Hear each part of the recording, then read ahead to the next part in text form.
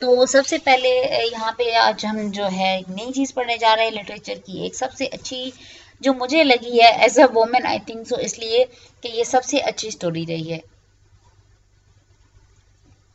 I was drinking water I am so sorry so doll house is actually written by Hendrik Ibsen okay okay?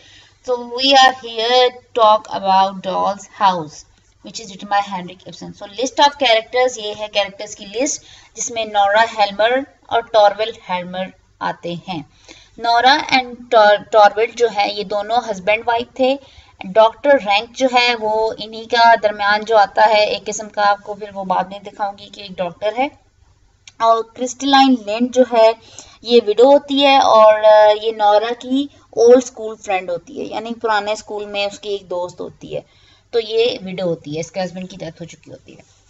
Niels क्रॉकस्टेड सबसे जो है ख़तरनाक आदमी होता है मेरे ख्याल से, क्योंकि ये सारी खराबियाँ पैदा करता है। चिल्ड्रन जो होते हैं नौरा के बच्चे होते हैं बॉबी और एमी और आयवा और एनी मैरी जो होती है, ये नौराज की मतलब मेड केयर एक टाइप की, जो उसके बच्चों के केयर करती है। हेलिन जो होती है ये हेलमर की मेड होती है। यानी ये कि जो टॉर्बल हेलमर है उसकी मेड होती है। तो इसी के ऊपर पहले डिस्कस कर लेते हैं हम लोग। So Nora Helmer actually the wife of Torvald and the mother of three is living out the ideal of nineteen century wife but leaves her family at the end of the play क्यों छोड़ती है जनाब? ये इसलिए छोड़ती है क्योंकि ये समझती है कि जो इसका हस्बैंड है वो इसको आ, डिपेंडेंट बनाना चाह रहा है ना अपने ऊपर। यानी कि डिपेंड कराना चाह रहा है अपने ऊपर कि नौरा जो है वो सिर्फ़ मेरी हुक्म की तामील करेगी। नौरा सिर्फ़ जो है मेरे हुक्म मानेगी, नौरा मेरी मेरी पसंद का खाना खाएगी, अपनी पसंद का वो कुछ नहीं खाएगी और एट द एंड हम देखते हैं कि वो मैक्रून्स खा रही होती है बिकॉज़ टॉर्वेल्ट जो उसका हस्बैंड होता है वो उसको पसंद नहीं करता तो मैक्रून्स को ना। तो जो टॉर्वेल्ट है नौरा का जो हस्बैंड है, वो न्यूली प्रमोट होता है बैंक मैनेजर की सीट के ऊपर। तो वो जो है, वो हर वक्त बस उसको इस तरह से सुनाता रहता है और उसको ना प्रेशराइज करता रहता है कि मेरे ये काम करो। चले, वो ठीक है कि हस्बैंड का वाइफ का इस तरह से रिलेशनशिप होता है कि वाइफ को काम करने चाहिए हस्बैंड के। It is really good but वो इस तरह से चाहता है कि वो, जो खुद पसंद करता है, वो भी वो नौरा पसंद करे। वो जो खाना खुद पसंद करता है, वो नौरा पसंद करे। वो जो खाना नहीं पसंद करता, नौरा भी वो नहीं खाएगी। बेशक भले ही उसको पसंद हो या ना हो। एट द एंड नौरा तंग आके फिर मैक्रोन्स खाना शुरू करती है बिकॉज़ शी लव्स मैक्रोन तो जो डॉक्टर रैंक है, वो इनका एक फैमिली फ्रेंड है और एक डॉक्टर भी है। तो सीक्रेटली वो जो है, वो नौरा को पसंद करता होता है।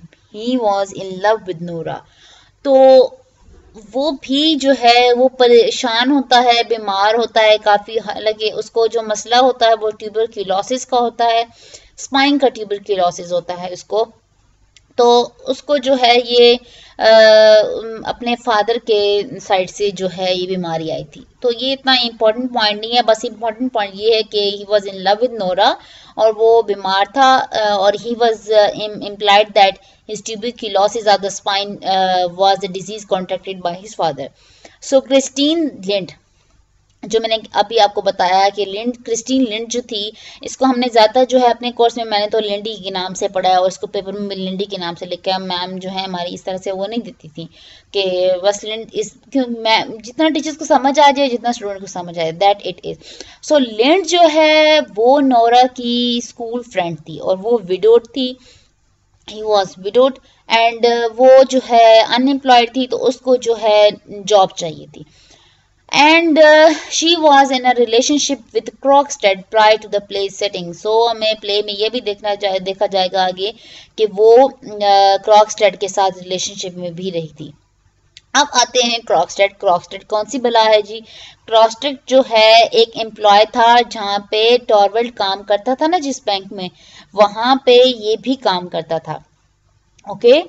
तो he was an employ at Torvald's bank single father he is pushed to desperation he a sports scoundrel he is revealed to be a long lost lover of christine lind okay okay, अभी मैंने आपको बताया कि यहाँ पे ऊपर देखें Nora और हेलमर वाइफ हैं लेकिन इनके दरमियान कौन आया doctor Rank because he was in love with Nora पहले तीन का तो काम वहीं पे तमाम हो गया। जब हमने चौथे की बात की, क्रिस्टीन लेंड की तो उसके बाद हमने निल्स क्रॉक्सटेड की बात की तो ये दोनों जो हैं आपस में रिलेशनशिप में रहे, ये दोनों एक दूसरे को पसंद करते थे। फिर हमारे पास आता है चिल्ड्रन उसके नौरा के जो बच्चे आ जाते हैं, वो भी इतनी इंपॉर्टेंट बात नहीं, आवर बॉबी एंड मी वो बस खेलते ही रहते हैं पूरे प्ले में, उनका कोई कैरेक्टर इस तरह से नहीं आता मेजर कैरेक्टर नहीं है वो। एनी मैरी जो है, वो भी मेड थी, वो बच्चों की केयर करती रहती है, और हेलिन जो है, वो भी हेलमर की हेलमर की एक मेड ही होती है, यानी कि इनके फादर की एक मेड थी, पुरानी। तो ये दोनों मेड्स और बच्चे इतना मैटर नहीं करते हैं प्ले में। मेजर कैरेक्टर्स हैं नोरा हेलमर ठीक है, Nora Torvald doctor Rank, Christine Linde, Nils Krogstad okay ये पाँच कैरेक्टर आपने याद कर लिए, इनकी ये जो इनके रोल्स याद कर लिए, इनकी कैरेक्टराइजेशन याद कर ली, और इनके इनके थ्रू जो थीम्स क्रिएट हुए हैं प्ले में, वो भी आपने याद कर लिए मेजर अगर आपने कोटेशंस याद कर ली तो आपका जो है वो पेपर तमाम हो जाएगा, यानी कि पेपर डन हो जाएगा क्वेश्चन जो भी आया वो होगा। नेक्स्ट स्लाइड पे आते हैं जी। प्ले की समरी क्या है? So doll house opens on Christmas Eve Nora Helmer enters her well furnished living room the setting of the entire play carrying several packages Torvald Helmer, Nora's husband, comes out of his study when he hears her arrive. He greets her playfully and affectionately, but then chides her. Okay for spending so much money on Christmas gift ये बात सच है कि वो बहुत ज़्यादा फजूल खर्च औरत थी बहुत ज़्यादा जो है वो फजूल खर्चियाँ करती थी इसकी वजह से एक ये भी रीज़न था कि वो हेलमर जो है, यानी कि टॉर्बल्ड हेलमर जो है, वो नौरा को पसंद नहीं करता था। They conversation reveals that the Helmers have had to be careful with money for many years because होना चाहिए, ये बुरी बात नहीं है। गलती ही किसकी है? यहाँ पे आ रही नौरा की। यहाँ पे नौरा की मिस्टेक आ गई। So but that Torvald has recently obtain a new position at the bank where he work that will afford them a more comfortable lifestyle तो हुआ क्या? जी के नौरा को लगा कि मेरे हस्बैंड की अब पोस्टिंग होगी है। तो he was posted on better place तो उनको लाइफ स्टाइल भी चेंज कर लेना चाहिए। ये भी बुरी बात नहीं है, लेकिन इतना फजल खर्च भी अच्छी बात नहीं है। तो यहाँ पे दोनों के पॉइंट्स जो है वो नॉर्मल आ रहे हैं, लेकिन नॉर्मल ठीक लग रहा है। अब नेक्स्ट पॉइंट पे आते हैं। Nora inquires further about Mrs. Lind's life, and Mrs. Lind explains that for years she had to care for her sick mother and her two तो यहाँ पे जो है वो इतनी बड़ी बात नहीं होती है ये मैंने रेड किया हुआ है पहले तो क्या होता है कि नोरा अपनी मिसेस लिंड से मिलती है, उसकी लाइफ के बारे में पूछती है तो वो बताती है कि जो मैंने अपनी बीमार माँ और दो छोटे जो भाई थे, उनका जो है साथ दिया, उनकी केयर की तो उनकी केयर के लिए, उनकी फीलिंग्स को इस तरह से रखते हुए मद्देनज़र रखते हुए, उनकी उम्मीदों को पूरा करने के लिए मैंने एक बूढ़े आदमी से शादी कर ली। फिर जो है, वो उसकी डेथ हो गई। तो फिर जो है मिस लिंड फील करती है कि अपने कि मैं खाली हूँ, बिल्कुल मेरे साथ कुछ भी नहीं है ना? तो इस तरह से अपने माँ माँ बीमार, माँ और दो मासूम भाइयों के लिए उसने बूढ़े से शादी की। तो उसके पास कोई जगह नहीं थी। She has no occupation she hopes that Torvald may be able to help her obtain employment तो वो इसके घर, नौरा के घर मैसेज एम्प्लॉयमेंट के लिए आई थी कि उसे कोई जॉब मिल जाए। Torvald be is on the good rank और टॉरवेल अच्छे रैंक पे है तो मे बी उसको कोई जॉब मिल जाए। नौरा प्रॉमिस तो करती है उसके। ठीक है? कि मैं टॉर्वेट से बात करूँगी, लेकिन then reveals a great secret to Mrs Linde without Torvald's knowledge that Nora illegally borrowed money for the trip that she and Torvald took to Italy तो जी, यहाँ पे सारा मसला जो है नोरा और टॉर्वेट का होता है कि जब मिसेस लिंड जो है, वो बातों बातों में सीक्रेट को उगल देती है अपने मुँह से कि जो टॉरवेल्ड है, यानी कि नौरा का हस्बैंड है और नौरा जो है, ये दोनों गए थे इटली पे ट्रिप तो वो नौरा से कहती है कि जो तुमने इलीगली बोरो किया हुई थी मनी उसके लिए ट्रिप के लिए, ताकि तुम टॉर्बेट के साथ इटली जा सको तो उसके बारे में तुमने क्या सोचा है? ठीक है? वो फिर टॉरवेल्ट को बता देती है, यानी मिसेस लिन टॉरवेल्ट को बता देती है कि जो मनी है वो उसके फादर के साइड से आई थी, उसने बोरो की थी इस तरह से और किस तरह से हुआ था, वो सारा सीक्रेट उसको बताती है। For years Nora reveals she has work and saved in secret slowly repaying the debt and soon it will be fully repaid तो कई सालों से उसने अपने हस्बैंड को भी नहीं बताया था कि जो है, मैं सीक्रेटली इसको पे कर लिया करूँगी। सामने से वो हस्बैंड को शो कराती थी कि मैं बहुत फजूल खर्च हूँ, लेकिन वो फजूल खर्च नहीं थी। पहले पॉइंट में क्या मिला हमें कि वो फजूल खर्च है, ऐसे ऐसे करिए वो करिए लेकिन दैट वॉज़ नॉट रियल तो यहाँ पे एक हमारे पास जो है, वो कौन सा यहाँ पे पार्ट आ जाता है? हमारे पास फिक्शनल भी आ जाती है ना चीज़ इसमें। तो उसके बाद Krogstad low level employ at the bank यानी पियोन कह लें पियोन भी हो सकता है कुछ भी हो सकता है लो लेवल एम्प्लॉय था वो बैंक में जहाँ पे टॉर्वल काम करता था। और वो जो है टॉर्वल्स की आ, कोई स्टडीज़ या इस तरह से कोई भी चीज़ें उनको छेड़ता रहता था उसको पढ़ता रहता था। नोरा जो है वो react Nora reacts uneasily to Krogstad's presence and doctor Rank coming out of the study says Krogstad is morally sick तो जो डॉक्टर रैंक है, वो स्टडी से जब बाहर आ रहा होता है स्टडी रूम से तो वो क्रॉसटेक को क्या कहता है कि ये मॉरली बीमार बंदा है एक। यानी कि उसको एक ताना टाइप मारता है ना कि बीमार टाइप बंदा है। तो नौरा जो है, वो अनईजी फील करती है क्रॉक्सटेट की वजह से, क्योंकि क्रॉक्सटेट जो है, वो उसको सही बंदा नहीं लगता। जो टॉरवेल्ड है वो लिविंग रूम में आता है, यानी कि घर में जो अपने बेडरूम में आता है and says that he can probably hire Mrs Linde at the bank probably उसको वो वो सोचता है कि बिल्कुल उसको हायर करना चाहिए मिसेस लिंड को बैंक में, और डॉक्टर रैंक टॉरवेल्ड और जो मिसेस लिंड होते हैं then depart leaving Nora by herself ठीक है? ये सारे के सारे मिल जाते हैं और नोरा को छोड़ते हैं। Nora children return with nanny and Anne Marie and Nora plays with them तो अब क्या ये तीनों चले जाते हैं? रैंक भी टॉरबेल्ट भी और लेंड भी, ये कहाँ चले जाते हैं? बैंक में काम पे। अब ये तीनों इकट्ठे हो गए। नौरा बच्चों के साथ और मेट के साथ बैठी और बच्चों के साथ खेल रही थी। वो नोटिस करती है कि क्रॉकस्टर्स की प्रेजेंस को रूम में।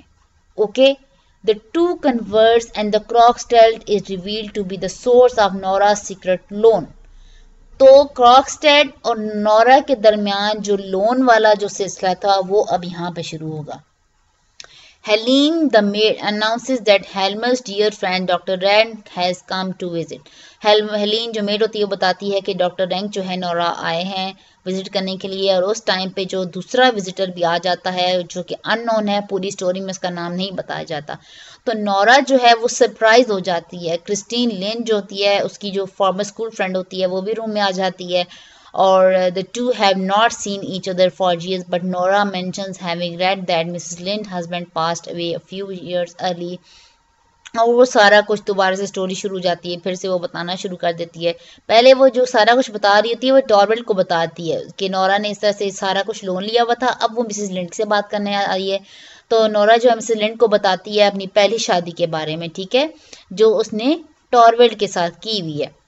सॉरी पहली शादी की बात कर रही हूँ, पहले शादी के पहले साल की बात करिए वो बताती है कि हम बहुत गरीब थे जो है हम दोनों ने मिलके घंटों घंटों काम किए अपनी ज़िंदगी को लाइफ स्टाइल को बेहतर करने के लिए। टॉर्बल बीमार हो जाता था।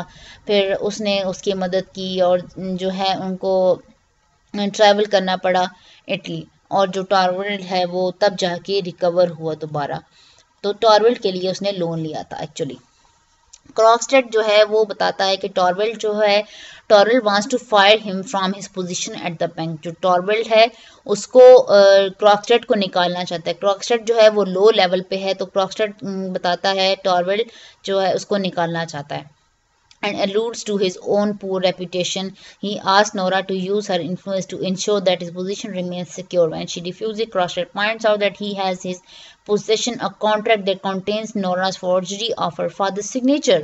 Oh my God यहाँ पे क्रॉकस्टेड जो है ब्लैकमेलिंग करता है नोरा को कि अगर तुमने अपने हस्बैंड से मिलते ना की कि मेरी नौकरी वो रहने दे मुझे वहाँ से फायर ना करे तो अगर तुमने ये काम नहीं किया तो तुम्हारा और जो फादर का कॉन्ट्रैक्ट था इलीगल जो पैसे आप लोगों ने निकलवाए थे वहाँ से इटली जाने के लिए, उसका मैं सारा सच बता दूँगा।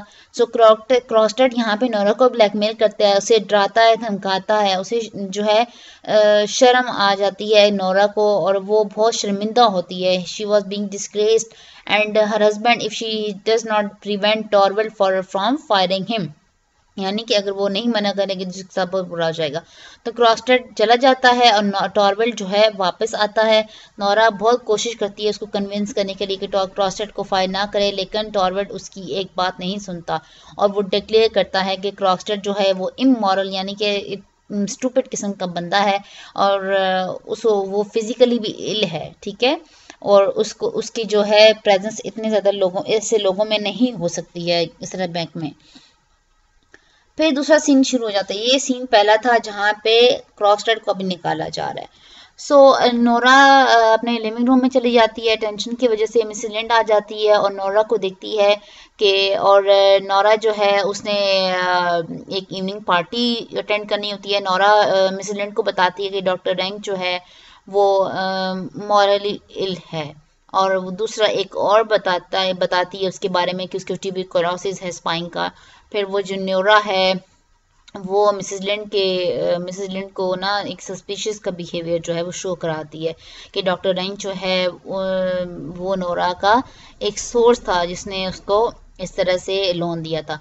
नोरा जो है वो denies Mrs Linde charge but refuse to reveal the source of her distress Torvald arrives and Nora again begs him to keep Krogstad's employ तो at the bank but again Torvald refuses when Nora presses him he admits that Krogstad's moral behaviour isn't all that bothers him तो इस तरह से यहाँ पे है oh यहाँ पे एरर आ रहा है।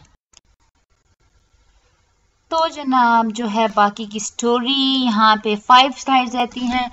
बाकी की स्टोरी मैं उसे बाद में शेयर करूँगी। यहाँ मैं बहुत बोरिंग फील हो रहा था तो बात करते हैं फिर अगली स्टोरी में। इजाज़त दीजिए। Allah Hafiz.